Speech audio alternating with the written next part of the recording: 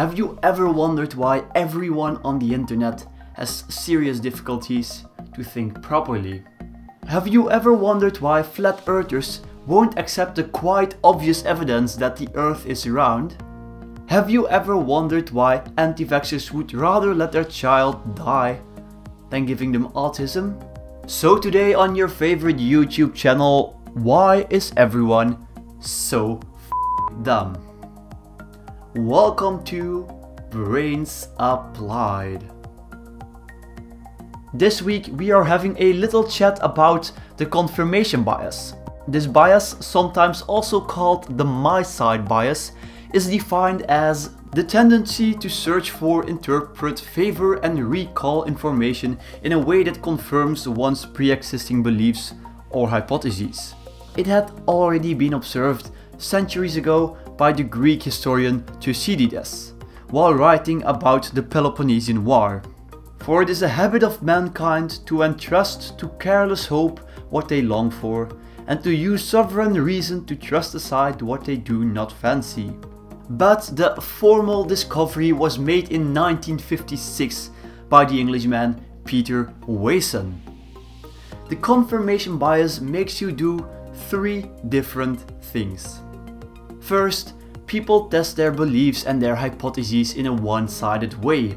This is called selective exposure.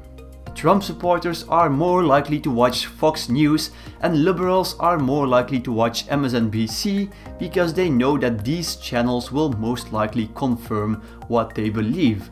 And nobody likes to be proven wrong. For the same reason, people who only give their cat or dog vegan food will probably only check vegan blogs, while normal people will consult a veterinarian.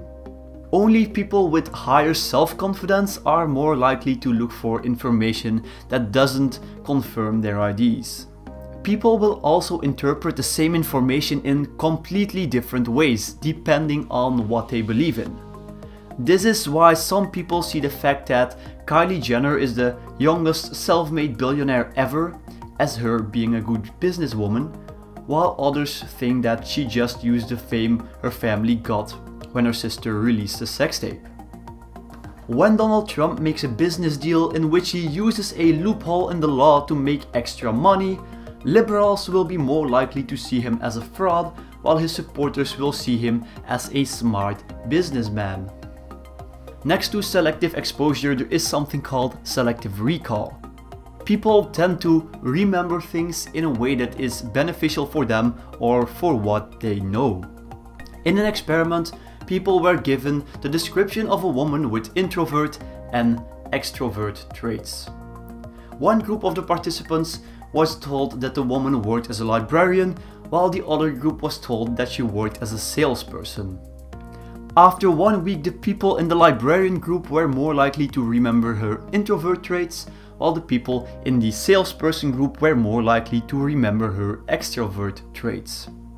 To find out why the confirmation bias happens, fMRI scans were performed on people who were judging information.